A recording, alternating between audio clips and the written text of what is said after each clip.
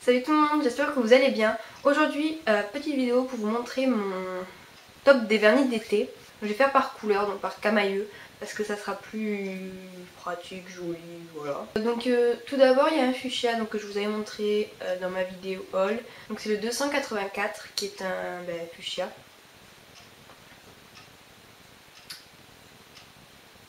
Voilà. Donc je l'aime beaucoup.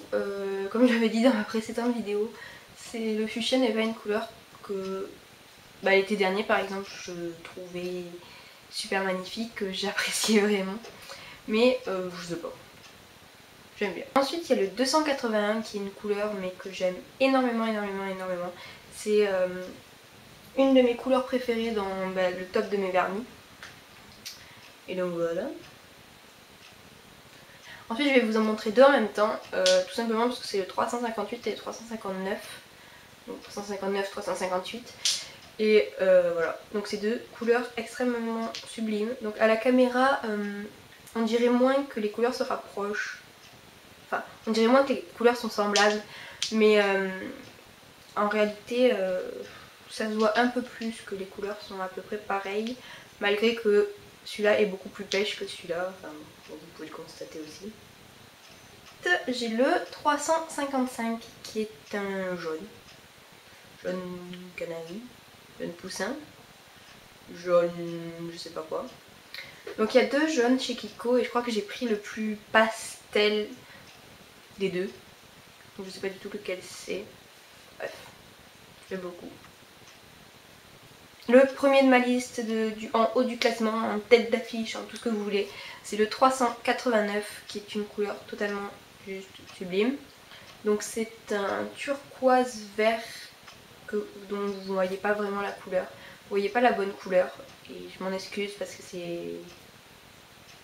C'est vraiment une très très jolie couleur. Et ouais, c'est top. Euh, pour continuer dans les bleus, donc c'est le deuxième et le dernier de mon top.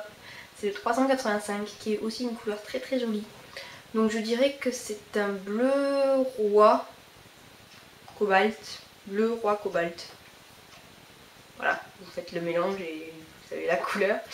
Donc, euh, les deux derniers de mon top, c'est deux couleurs nude. Euh, donc tout d'abord celle-ci, qui est la 303.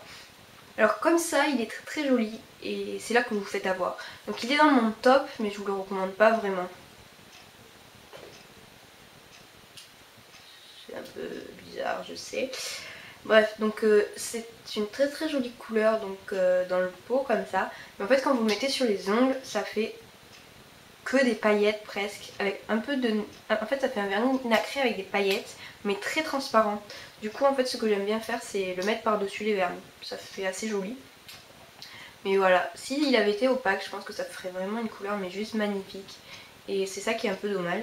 Donc le dernier c'est le 372, donc qui est un beige con mais qui est très joli et qui celui-là est opaque. Donc euh, je, ça faisait depuis 10 000 ans que je ça faisait vraiment depuis longtemps que je cherchais un vernis beige opaque euh, voilà nude voilà pour euh, faire ongles propres etc et mais à chaque fois que j'en achetais un en fait il n'était pas opaque. Il fallait toujours mettre 30 000 couches et tout.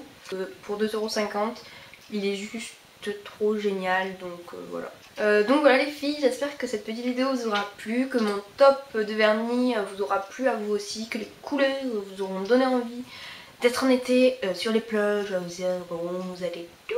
Je vous fais de gros bisous. Ciao